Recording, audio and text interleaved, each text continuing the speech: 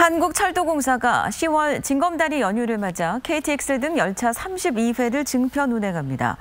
공사는 임시 공휴일로 지정된 국군의 날인 내일부터 4일까지와 한글날인 9일 등 닷새 동안 KTX를 포함한 열차 32회를 증편해 모두 13,500석을 추가 공급할 계획입니다. 증편되는 열차는 KTX 20회, 일반 열차 12회며 KTX 경부선 등 주요 노선은 3일과 9일 하루 10회 확대 운영합니다.